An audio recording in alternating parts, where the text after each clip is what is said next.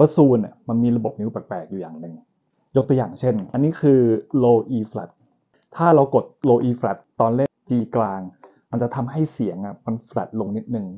จากที่ G ปกติมันจะชับๆามันจะกลายเป็นพอดี เดี๋ยวลองฟัง